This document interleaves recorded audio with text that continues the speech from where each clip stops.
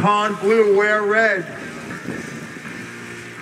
Both ladies with spreads. Even Steven off that top jump. What do we got in the middle here? The turn for turn. Here we go. We got a good one. Pond and Ware. Who's going to get to the second jump? Putting pressure on each other. Coming down the middle. Pond and Ware. Spread eagle and, and three.